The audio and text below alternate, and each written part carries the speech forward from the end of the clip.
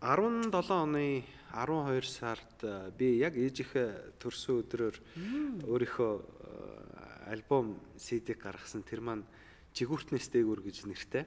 Мэдлгүй яах вэ? Тэгээд э, ерөөсөө тэр альбомын гол санаа нь бол энэ юм. Жигүүртнээс дээгүр гэдэг нь бусдыгаа манлайлан дуудаж магадгүй чи өөрөө ам эрсдэж болно те. Гэхдээ тэр бол зөвхөн нэг л хүний аим те. Гэхдээ чи бусдыгаа араасаа дагуулж чадсан бол чи үнэхээр тэр тэр үндэсний баатар нь чи тэр үндэсний жигүүр нь юм те гэсэн тийм санаагаар л бичиж байгаа. Мессеж нь тийм гоё шүү дээ. Тэгээд э, зүгээр нэг ингээд нэг энтэн тоглолт хийгээл нэг мөнгө цуглуулад явах нь бол яг урлагийн хүний яг жинхэнэ зорилго нь бол бас биш юм а гэсэн нэг тийм санаатай. Тэгээд э, жигүүртнээс дээгүр гэж тэр э, альбомонд нэр өгсөн дуугаараа та нартаа та нартаа зориулаад хэллээ. Ай барья.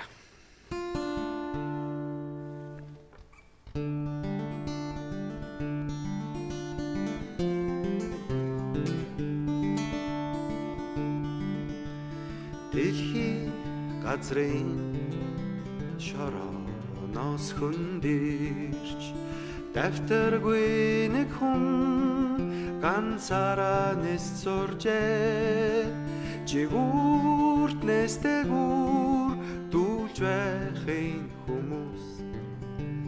Зэвүүцэж доороос нь хардаг байжээ.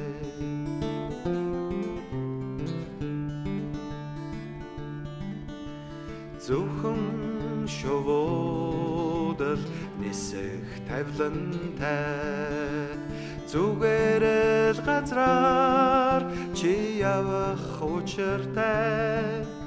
Чацуу болох гэлээ гэд бурхан хэлэгнэж. Чамайг бидний гараар гисгэн гэжээ.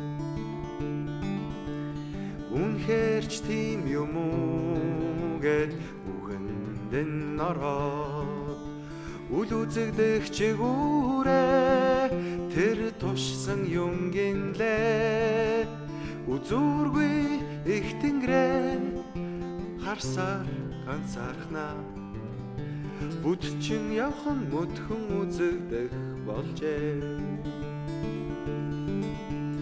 Дан чудалгүй тисмэргүй бачимда дор үлдэх хүмүүст тэр нэгийг орилсоор дээр нисэх шувуудыг зорж дэвсэн боловч тас харвуулаад газарт хөсөр өмжээ.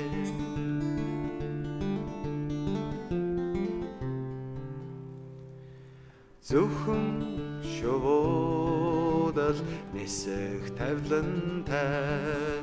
Зүгээр газраар явсан бол ханаас инхэвгээд гигэн дурсгалдан зориулж цөмөрөө. Гэрэлт хөшөө босгож амарсан гинлээ